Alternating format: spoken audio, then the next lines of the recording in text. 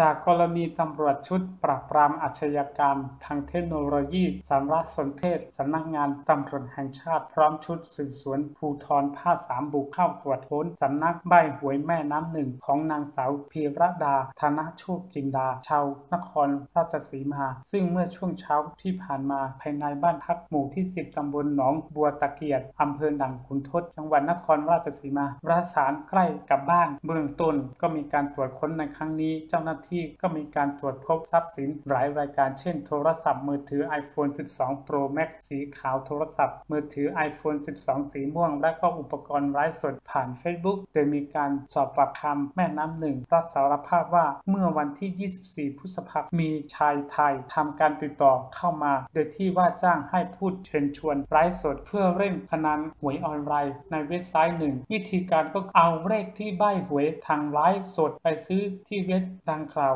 ซึ่งทางแม่น้ำหนึ่งก็ได้รับผลตอบแทนเป็นส่วนแบ่ง 10%ของกำไรทั้งหมด โดยเริ่มก่อเหตุตั้งแต่เมื่อเวลา 20 นาฬิกาของวันที่ 31 พฤษภาคม มีการปักหมุดเว็บไซต์พนันหวยใต้ดินชัดเจน นอกจากเว็บไซต์ดังกล่าวแล้ว ก็ยังมีเว็บไซต์พนันอื่นๆ เข้ามาเกี่ยวข้องอีกด้วย ซึ่งเจ้าหน้าที่ก็ยังอยู่ระหว่างการสืบสวนก่อนจะออกหมายเรียกแม่น้ำหนึ่งเข้าไปพบที่สอนอรามผักชีในเร็วๆนี้